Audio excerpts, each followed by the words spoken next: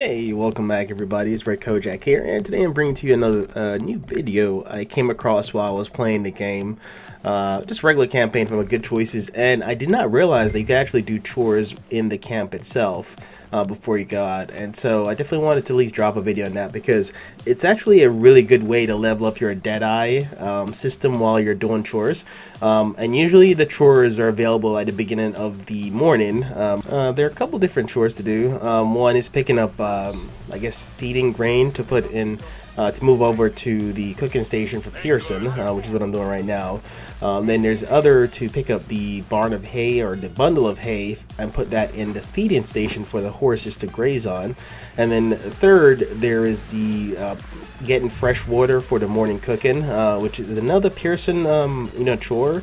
And then the last one that I, have came across so far is chopping, uh, I guess, wood with the uh, the axe um, for the fire to be used uh, for cooking and things like that. So um, not only does doing the chores actually increases your stat, um, particularly your Deadeye, but it also increases your honor system. So it makes you gain honor faster, and it also apparently um, increases uh, the group morale or gang morale um, and makes them respect you more. So I was not aware of this functionality or I guess utility within the gang itself.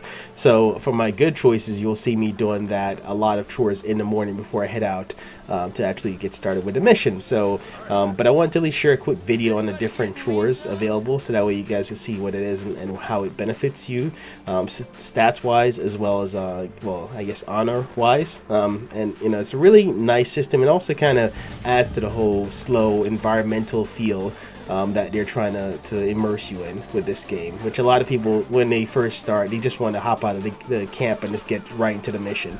But if you take some time to actually uh, explore the camp and you know do these chores, they have uh, definitely worthwhile benefits. Um, but hope you guys enjoyed the video. Uh, drop a like and comment, and I will see you guys in my next uh, Red Dead Redemption video. Bye.